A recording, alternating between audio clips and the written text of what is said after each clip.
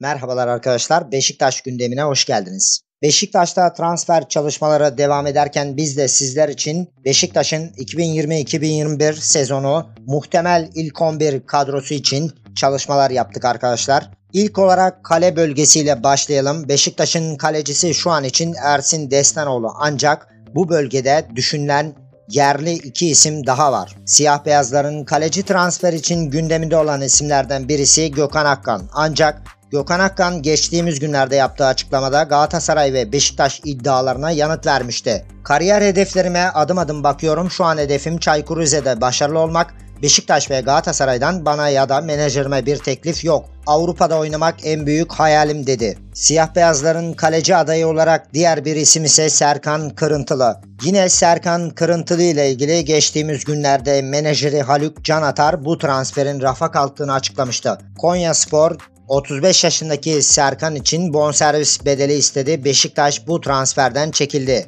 Siyah beyazlarda bir diğer yerli kaleci transfer adayı Sinan Bolat. Fakat Sergen Yalçın'ın geçtiğimiz haftalarda gündeme gelen Sinan Bolat'ı veto etmiş olması milli kaleciyi sıralamada altlara itmiş durumda. Yine de Sinan'ın boşta olması mali olarak cazip durumda. Ayrıca Beşiktaş'ın gündemine gelen bir yabancı isim daha var. Munir El Kaju. Beşiktaş'ın kaleci adayları arasında yer alan Malaga'nın kalecisi Munir'in siyah beyazlı takımda forma giymek için İspanyol kulübünün yöneticilerine baskı yaptığı iddia ediliyor. 2021 yılında Malaga ile sözleşmesi sona erecek olan Munir geçen sezon İspanya 2. Lig'de 38 karşılaşmada görev aldı. Kalesinde 29 gol görmüştü. Siyah beyazlar için kaleci transferi oldukça önemli bir bölge.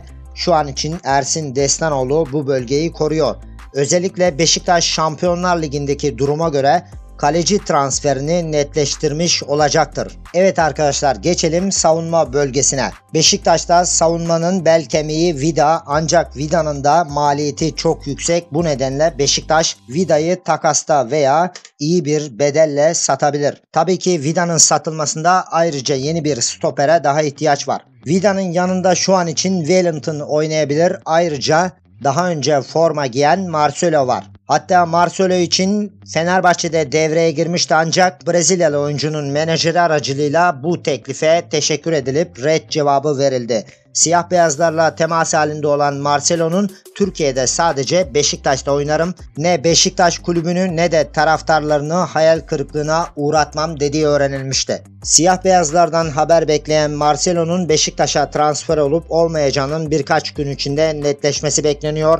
Lyon'un hocası Rudi Garcia'nın çok sevdiği oyuncusunu her ne kadar bırakmak istemese de onu tekrar Türkiye'ye dönme isteğini kıramayacağı da gelen iddialar arasında. Evet arkadaşlar savunma bölgesinde Vida'nın yanına Marcelo da gelebilir veya Vida satılıp Marcelo Wellington ikilisi oynayabilir. Diğer yandan sol bekte yeni transfer Ensakala olacak. Ensakala'nın yedeği ise genç Rıdvan Yılmaz. Evet arkadaşlar şu an için Beşiktaş'taki en büyük sıkıntılardan birisi de sağ bek. Şu an için Sergen Yalçın Jeremy Lens'i sağ oynatıyor ancak bu bölgede en güçlü adaylardan birisi de Gökhan Töre olabilir. Gökhan Töre sağ kanatta oynamasına rağmen Sergen Yalçın Gökhan Töre'yi sağ de oynatabilir. Son olarak Başkan Adil Gevrek Gökhan Töre'yi bonservissiz bırakmak istemiyor. Oyuncu ise bonservissiz ayrılmak istiyor. Gökhan Töre'nin Beşiktaş'a gitme yönünde büyük bir isteği var. Ayrıca siyah beyazlarda bu bölge için gündeme gelen isimlerden birisi yine tanıdık isimlerden Lyon'da oynayan Rafael. Beşiktaş yönetimi Lyon forması giyen Brezilyalı futbolcunun menajeri aracılığıyla maaş şartını öğrendi. 1.8 milyon euroluk geri dönüş aldı. 30 yaşındaki futbolcunun Lyon'dan kazandığı maaşın aynısını talep etmesi sonrasında bu miktarı fazla bulan Beşiktaşlı idareciler konuyu değerlendirme aşamasına aldı. Diğer yandan sağ bek olarak gündemdeki isimlerden birisi de Rick Harstrop. Siyah beyazlar 25 yaşındaki Hollandalı sağ için Roma'ya kiralık teklifinde bulunmuştu. 2022 yılına kadar Roma ile sözleşmesi bulunan Karstrop geçen sezonu kiralık olarak Feyenoord'da geçirmişti. Evet arkadaşlar sağ bek adayları şu an için bunlar. Muhtemelen Sergen Yalçın'ın sağ bekte Lens'i oynatmaya devam edecek. Douglas da sağ bek olarak oynayabiliyor ancak Douglas'ı Sergen Yalçın kadroda pek düşünmüyor. Öte yandan orta saha bölgesine bakmak gerekirse Beşiktaş Atiba ile bir yıl daha sözleşme uzattı. Atiba yine orta sahada önemli oyunculardan biri. Diğer yandan Beşiktaş'ın yeni transferi Bernard Mensah orta sahada kilit oyunculardan biri olabilir. Orta sahayı biraz daha güçlendirmek isteyen siyah beyazlar gündemine NDI'yi de almıştı. 29 yaşındaki oyuncunun kulübüne kiralama teklifinde bulunuldu ancak Stoke City Ocak 2018'de 16 milyon euroya aldığı futbolcusu için 2 milyon euro bonservis bedeli biçti. Rakamın uygun olması üzerine Beşiktaş teklifi değerlendirmeye aldı. Beşiktaş'ın gündeminde aslında Lemina da var ancak Lemina'nın kulübüyle yaşadığı sorunları aşmak için uğraşan Beşiktaş yönetimi özellikle Şampiyonlar Ligi turunun geçilmesi halinde Lemina ve Forvet yanında da bir kanat oyuncusu daha almak istiyor. Evet arkadaşlar şu an için kanatlarda Tyler Boyd, Enkudu oynaması bekleniyor ve şu anda Beşiktaş özellikle Forvet bölgesine transfer için yoğunlaşmış durumda. Bu nedenle kanat bölgesi için şu an pek bir çalışma yok. Daha önce Kevin Boat, Jimmy Cabot gibi isimler gündeme gelmişti.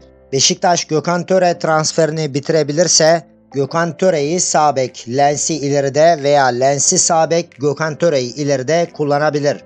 Ve son olarak Beşiktaş'ın en önemli konulardan birisi hücum bölgesi forvet transferi arkadaşlar. Forvet transferi için birçok isim gündeme geldi. Şu anda Beşiktaş'ın elinde forvet olarak Larin, Umut Nayır ve Güven Yalçın var. Larin'i değerlendirmek isteyen Sergen Yalçın en az Larin'in yanına bir forvet daha transfer yapmak istiyor.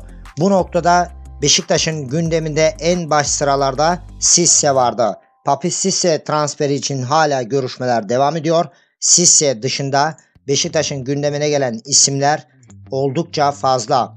Son olarak Niasse gündeme gelmişti. İngiltere Premier Lig ekibi Everton'a attığı 4 yıllık imzanın süresi dolan ve boşa çıkan 30 yaşındaki futbolcunun menajeri aracılığıyla Beşiktaş'tan seneliği 2 milyon eurodan 3 yıllık sözleşme talep edildi. Siyah beyazların gündemindeki diğer aday ise Anthony Modeste olmuştu.